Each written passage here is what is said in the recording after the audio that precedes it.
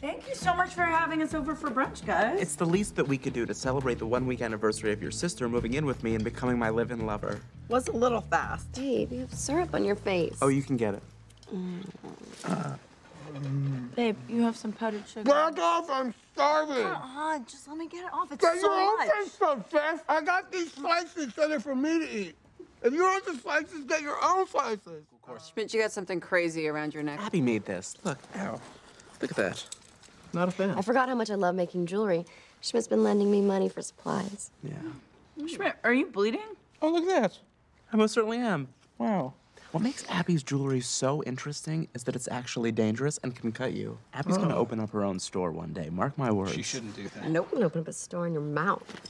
But now that you're living here, I can have my old room back. Jess, I'm gonna need you gone by five o'clock. Done. I need a break from Snora Ephron over here. Okay. Oh, Schmidt and I don't need any space.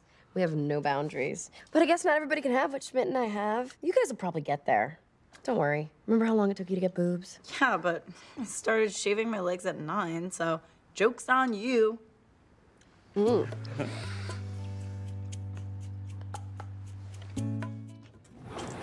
Whoa, hold up. Hey, Jess, what are you doing? Oh, I just, you know, sometimes I work in the elevator now. You know, helping some of the older residents. Oh. This is your floor, ma'am. So how are things going with you and Schmidt living together? I've never felt so clean while being so dirty.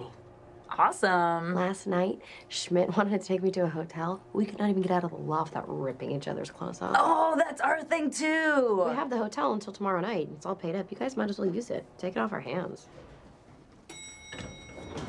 Lobby, please.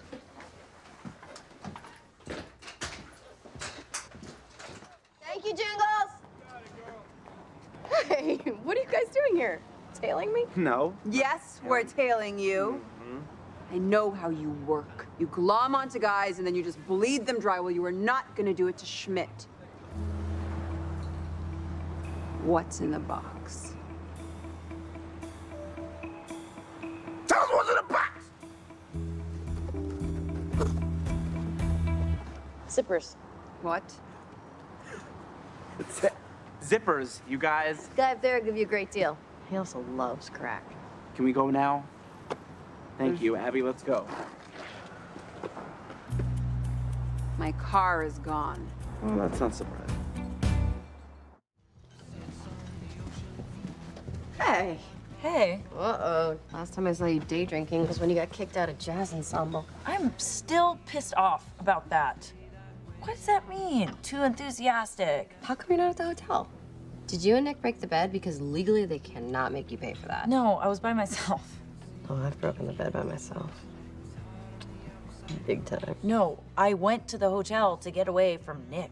And I wore a robe and I watched a documentary about Ethel Kennedy, and it was one of the best nights of my life. So you win, your relationship's better than mine, and I can't even share a room with Nick. I don't win. Come on. I swing from guy to guy.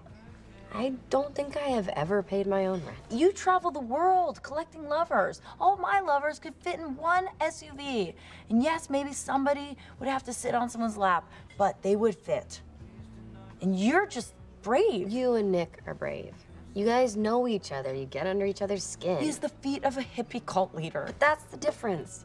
I just throw myself into whatever comes along because I really don't want to be alone. Why not? Being alone's great. You should try it sometime. Seriously, it might help you figure yourself out. You're Abby freaking Day. You can do whatever you want. Except vote. but seriously, you should have seen Nick's feet. The bottoms are all black except for one patch of yellow.